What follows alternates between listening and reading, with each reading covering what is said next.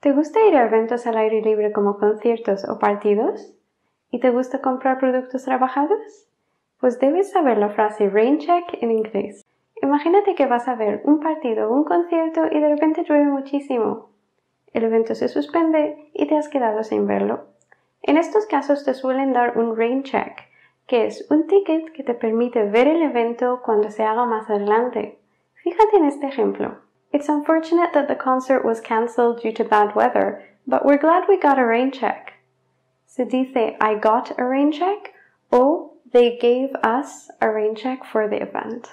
Ahora que nos hemos quedado sin ir al evento, nos vamos de compras y vemos algo que nos interesa rebajado de precio. Entramos en la tienda para comprarlo, pero nos dicen que ya no está disponible. Está fuera de stock y vendrá más el martes. El problema es que el martes ya no hay rebajas. Entonces, podemos hacer dos cosas. Irnos y quedarnos sin comprarlo. O, si eres espabilado, puedes negociarlo a ver si te dan un rain check. ¿Qué es un rain check en este caso? Es un papel que te da la tienda cuando el producto promocionado no está disponible para que puedas comprarlo cuando esté al precio rebajado, aunque ya no exista la promoción.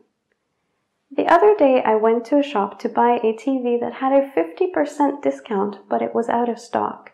After complaining, they gave me a rain check to buy it when it's back in stock. Obviamente no todas las tiendas te van a dejar un rain check, pero no pierdes nada por preguntarlo. Todos hemos estado alguna vez en una situación en la que queremos rechazar algo amablemente. Puede ser porque no nos apetece en el momento o simplemente porque no nos viene bien la hora. La expresión take a rain check es justo lo que diríamos en estas situaciones, pero siempre implica la intención de aceptar esa propuesta en otro momento. Es como decir, Ahora no puedo, pero me encantaría tomar un café contigo más tarde.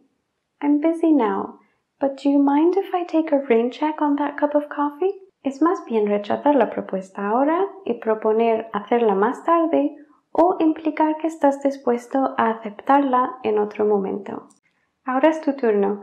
Alguien te ha invitado a una fiesta esta noche y tienes que disculparte por no asistir porque tienes mucho trabajo.